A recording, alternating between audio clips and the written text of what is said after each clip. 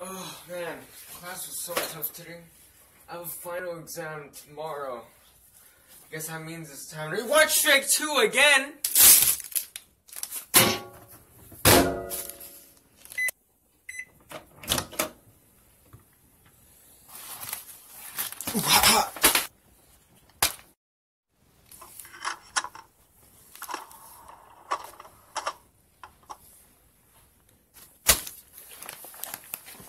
Alright, let's get this started.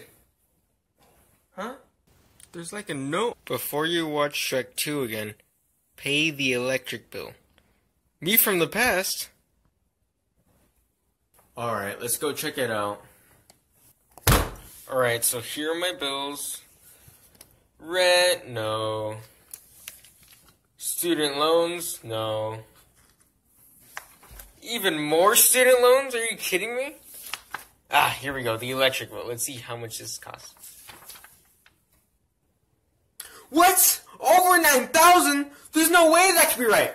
If only we could produce energy easier so that would be cheaper for everyone.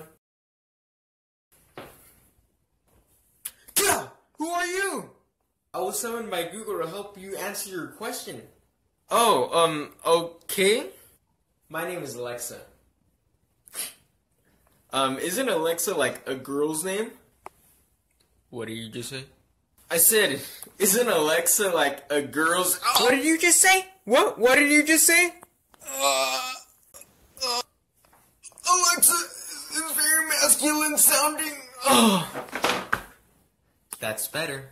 Now, where were we? Uh, I think I think we're talking about like energy or something. Ah, that's right, energy. Go ahead and name the examples that you know of. Oh, okay, um, let's see. Uh, oh, uh, fossil fuels. Fossil fuels? The classic enemy. This stuff is non-renewable and it causes climate change. Think again. Huh, okay, uh, how about, ooh, solar power. The power of the sun. Closer, it's renewable, but it also isn't entirely consistent flow of energy. It doesn't work at night or in or on a cloudy day. So there's that, and it takes a, a lot of land. Hmm. Okay, how about wind power? Wind power is basically a worse version of solar energy. It's renewable, but it's based on inconsistent weather and it kills birds. Hmm. Uh, hydropower. So hydropower is a good renewable resource, but it can only be built in water and it doesn't work in drought infested areas. California. It also destroys fish. Wave power. So wave power is a lot like hydropower, except it could only be built in the ocean. So that's a severe limitation. It's also not very high in development.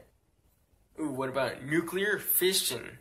Nuclear fission. Now this bad boy is not renewable. It's based on uranium deposits expected to run out in like 80 years. That's that's kind of nuts. It also creates radioactive waste. Hmm, I can't I can't think of any other energy source. Now what you didn't mention is nuclear fusion.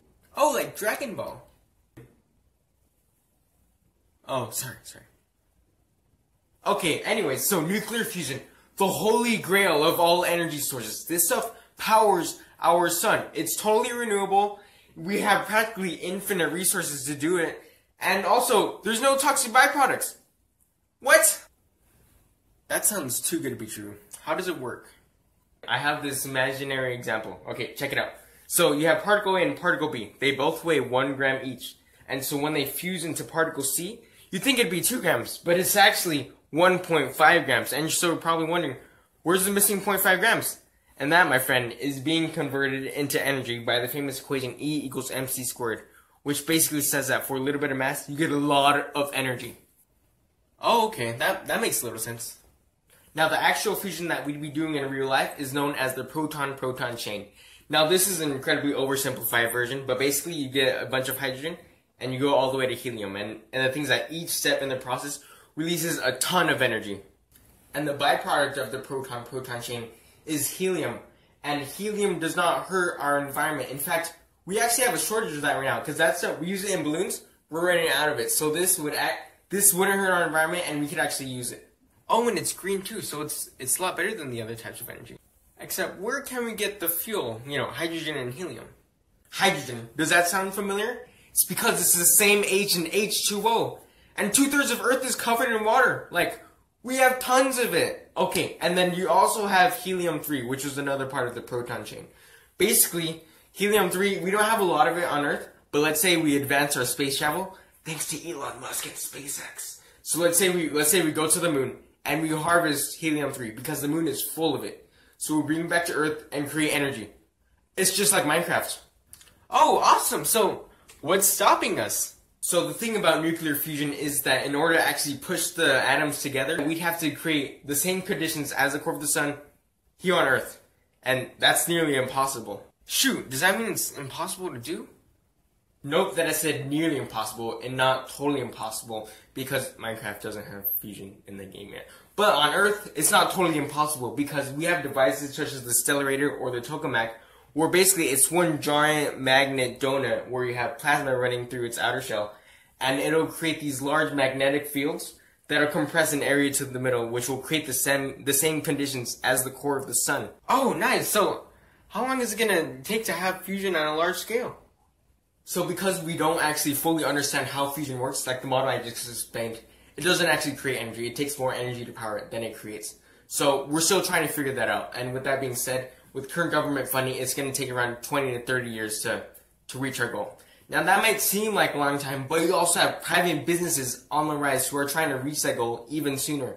One, one example would be a company called General Fusion where they're trying to reach the same goal and it's funded by none other than Jeff Bezos, the richest man in the world and my creator. Oh, Alexa from Amazon. Wait, didn't Google summon you? So that's actually besides the point. The point, the whole, this whole point is that there are over 1.2 billion people on Earth who don't have access to cheap electricity. Now, nuclear fusion, with its high energy output and the fact that it doesn't pollute our environment, plus the added bonus that we have practically infinite fuel for it, would help solve this problem. And I guess with that being said, adios muchacho. He's gone. Guess it's time to watch Shrek.